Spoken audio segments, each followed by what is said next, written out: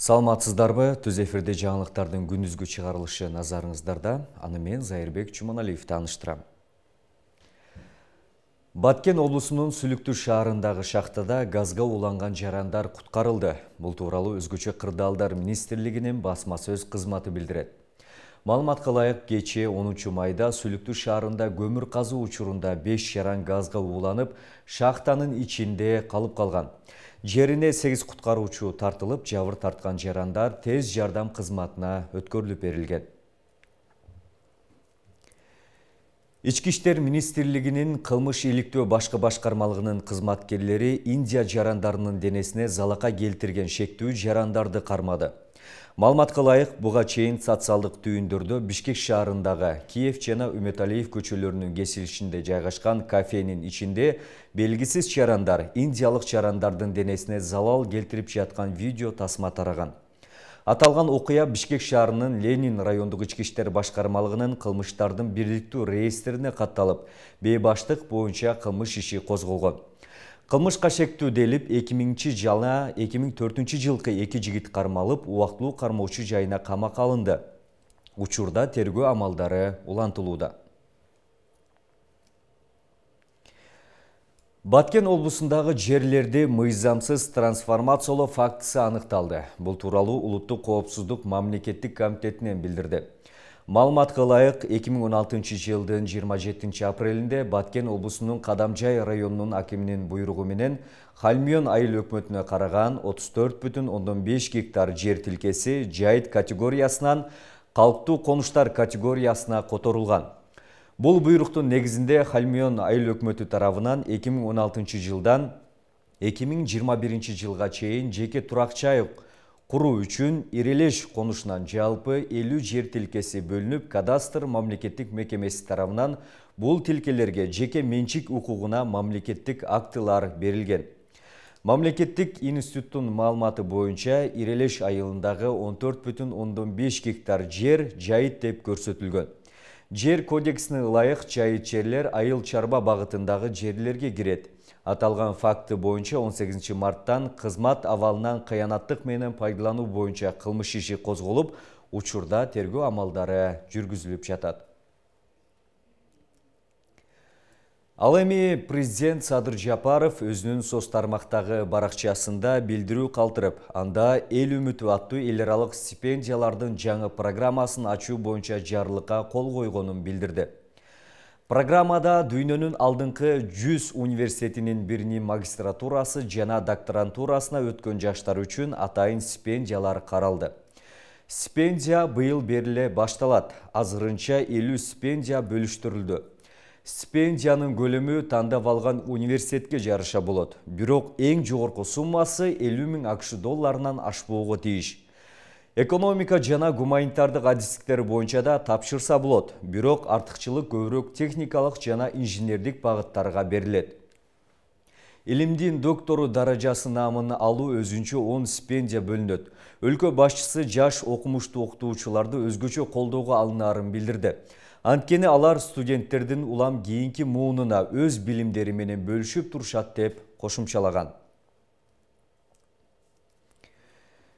президент садыр жапаровдун мамлекеттик ипотека компаниясына берген үйү сатылды. Айта кетсек өлкө башчы үйүн ипотекалык компанияга эки миң жыйырма биринчи жылдын отузунчу сентябрында өткөрүп берген. Президенттин айтымында бул үйдү эки миң бешинчи жылы сатып алышкан. эки миң онунчу жылдары башка жакка көчүп кетишип ошол убактан бери бала бакча катары иштеп келген. Мамлекеттик ипотекалык компания ошол жылдын жыйырма төртүнчү декабрында үйдү сатуу үчүн аукцион жарыялаган. Анда үйдүн өздүк баасы жыйырма пайыз кошуп отуз үч миллион жети жүз миң сомго бааланган биринчи тоорукта өтпөй калып андан соң экинчи ирет жыйырма пайызды алып салып жыйырма сегиз миллион кырк алты миң сегиз жүз сомго коюшкан. Натыйжада аты жөнүн ачык айтпоону өтүнгөн адам жыйырма сегиз миллион элүү миң сомго сатып алган. Түшкөн акча менин үйүм эки миң жыйырма бир эки миң жыйырма алтынчы турак жай программасынын катышуучуларына даяр үй салуу үчүн сарпталары айтылды өлкө башчы үйүн берип жаткан учурда мындан түшкөн акчага он үй бүлөнү турак жай менен камсыздаса болоорун билдирген болчу. Бүгін 11 майдан тартып, түндік түштік альтернативді авто, авто, жолының жұмғалдың арал айылынан 9 торонун казарман айылына чейинки тилкеси бир жумага убактылуу жабылат транспорт жана коммуникация министрлигинин маалыматына караганда мындай чечим 195-291 чакырымдар аралыгында сел жүрүп таш түшүү коркунучу жаралып жаткандыгына байланыштуу кабыл алынды. Өзгөчө кырдаалдар министрлиги 14 майга чейинки тоолуу аймактарда жаан чачын көп болоорун эскертүүдө түндүк түштүк альтернативдүү автоунаа жолунан таш кулап жол жүрүү өтө кооптуу болуп жатканы тууралуу маселе 21 апрелде жогорку кеңеште да көтөрүлгөн. Транспорт жана коммуникация министринин орун басары таабалды тилаев жол шашылыш салынгандыктан кооптуу жерлер бар экенин айткан. Аралдан казарманга чейинки 100 чакырымдык тилке пайдаланууга былтыр ноябрда берилген кыргызстандын фергана тоо кыркасы э, болуп турган эки аймагын байланыштыруучу жол жолдун жалпы узундугу 433 чакырымды түзөт. Бүгүн 11 майда кыргызстанда ажылык сапарга баруучуларды каттоо жарыяны жыйынтыкталат. Каттоо 6 майда башталган. Муфтият бул жолу мурда ажылыктын базасына кирбеген 65 жаштан төмөнкү курактагылар каттала аларын маалымдаган Бұйыл ажылық сапардың ақысы 4500 доллар деп анықталған. 2019-2020 жылдары ажылықтың электрондық базасына аймақтарда қатталып, кезе күтіп тұрған 65 жаштан төмен ар бір талапкер ажылық сапарына болған төлемін 30 апрелге чейін арғандай себептерменен төгіп жетші албай қалғандарға төлем мөөнөтү 11 майға чейін ұзартылған муфтият жогоруда айтылган сумманы төлөгөндөрдүн саны ажыларга берилген квотадан ашса кезекке калтырыла тургандыгын эскерткен.